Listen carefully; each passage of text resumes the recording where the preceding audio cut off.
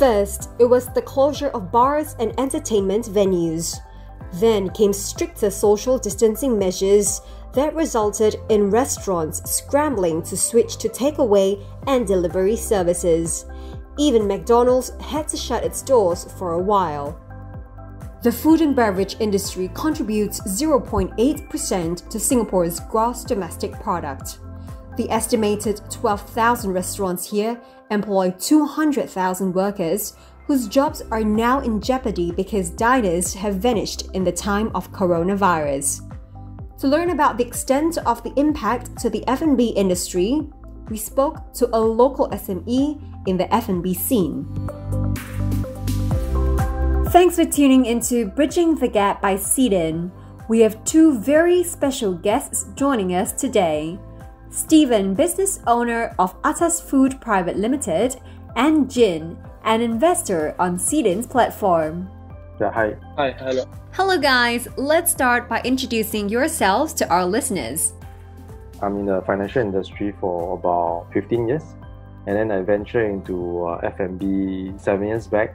So Atas Food Private Limited was uh, founded by me and three other partners uh, about three years ago, and we specializes in uh, Thai food particularly into Thai boat noodle, which we see there's a market in Singapore as there isn't many significant brand of Thai boat noodle in Singapore yet.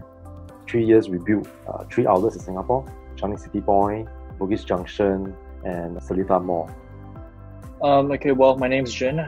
Well, I'm from Singapore, but um, I lived abroad in uh, Cape Town for a few years, and I'm here during um, the coronavirus when travel restrictions are put in place. I found out about SeedIn when I was about 14 years old. And um, after I turned 18 years old, I decided to invest with SeedIn because um, the idea of crowdfunding was very interesting. And I was also looking for an opportunity to invest. Thanks for the introduction. Now, with so many investment and financing options available in the market, what made you decide to choose crowdfunding?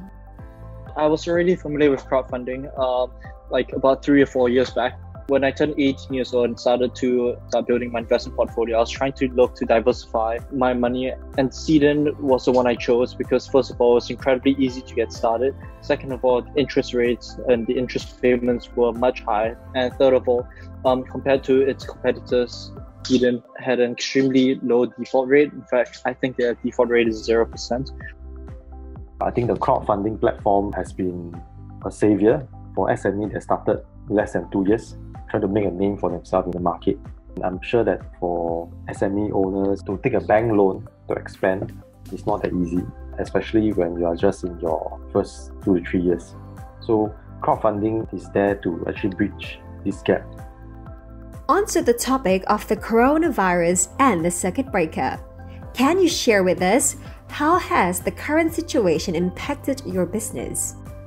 I think it affected everybody all kinds of business. Uh, I would say how it affected F&B industry and particularly my F&B business. For my, the sales dropped tremendously. We dropped to less than 20% of pre-COVID sales. What strategies are you applying in order to keep your cash flow healthy? And also, what are you doing differently in order to survive through this challenging period? I guess in every challenging times, one thing is for sure we need to change we need to change our strategy to stay afloat, to stay alive, in order to fight when phase two open up. For us, we, we want to keep our costs low. That's for sure. Keeping our costs low means no other choice but to give our part-timers. The government has just announced the mandatory rental relief program for SMEs. For F&B, we are eligible for four months of rental waiver, two from the government and two from the landlord. So I think it's a very great initiative to help us stay afloat for now. That will greatly reduce our costs. As we all know, for F&B in Singapore, rental will usually pick up around 15 to 20% of your revenue. So that helps us relieve our costs. I understand that Atas Food had recently opted to fully repay their loan seven months in advance. As an investor in Atas Food's crowdfunding campaign, what does this early repayment mean to you? To be honest, it wasn't a, an extremely big deal for me. At least in my opinion, when I make an investment on SeedIn, I'm prepared to wait for the duration in which my money will be locked up. But it was a very nice surprise It was really great because my liquidity was freed up and now I get to utilize it for other purposes and to invest more SeedIn deals and hopefully to get better um, interest rate based on my principal investment. These are unprecedented times and there are a lot of unknowns yet to come. What are some of Atas Food's plans in the short term?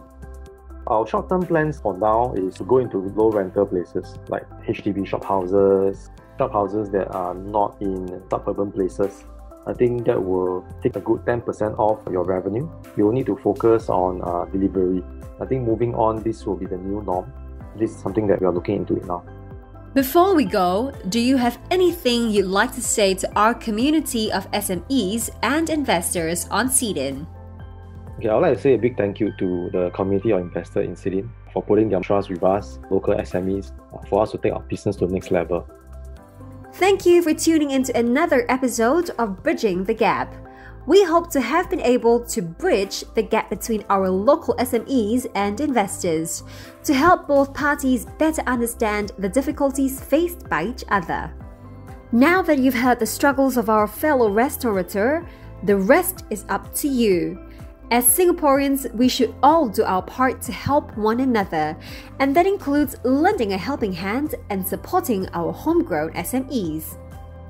Before we go, and if you haven't already done so, we'd like to invite you to take part in the poll on our website. We look forward to seeing you on the next episode of Bridging the Gap.